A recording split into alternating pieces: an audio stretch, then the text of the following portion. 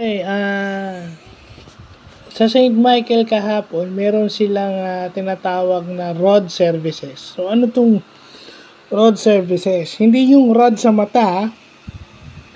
kasi yung cones and rods is para makakita ka sa madilim at saka sa maliwanag. Okay? Etong rod na to is parang metal rod na inilalagay sa medular cavity ng long bone o yung femur. Alam naman natin, ang longest bone sa human body is yung femur.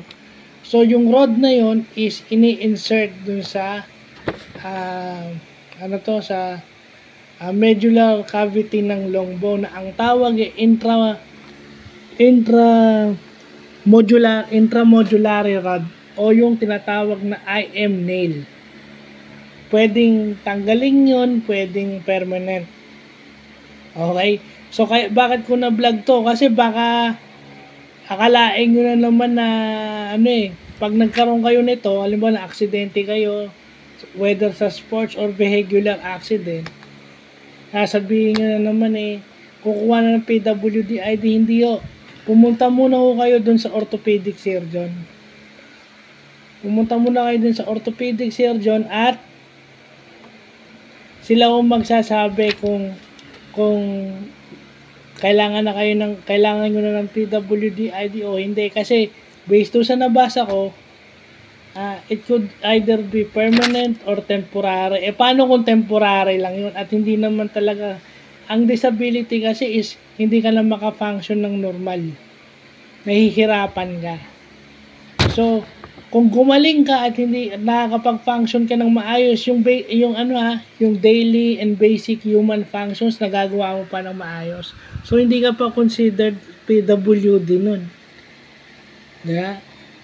Kasi baka namamahalan lang kayo sa gastos, then gumaling kayo, gusto nyo lang magka-discount, di ba? Yung mga ganun. So, kaya, pumunta muna kayo sa doktor, ha? Kaya bubutit na laman natin itong intra intramodulary rod na, na to. Kasi ano pala to? Ito yung ini-insert pag halimbawang nabal, nabalian ka dun sa inyong ah, femur. Yung sa longest bone sa binti natin. Longest bone in the human body.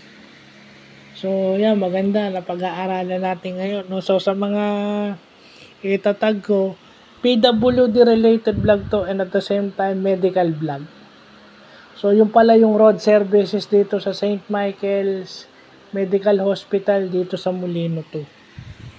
So, yung pala yung ibig sabihin nun, ano, yung ini-screw, di ba, inilalagay yun sa medullary cavity na ah, nandun yung iyong, ano eh, yung iyong bone marrow, tsaka yung mga adipose deposits, na basa ko lang. And then, yun yung ini-screw. No, pagka, iba, yung mga, ganun, nakikita ko lang yun kaila, ano eh, doon sa mga wrestlers, yung mga wrestlers ng WWE, yung pagka, dinadocument yung surgery nila, yun, na, nakita ko na. So, yung pala yung tawag doon, kasi bata pa ako nung, hindi pa ako mulat dyan eh, ngayon ko nga lang nalaman nga. So, magandang kaalaman yan. So, yun lang po.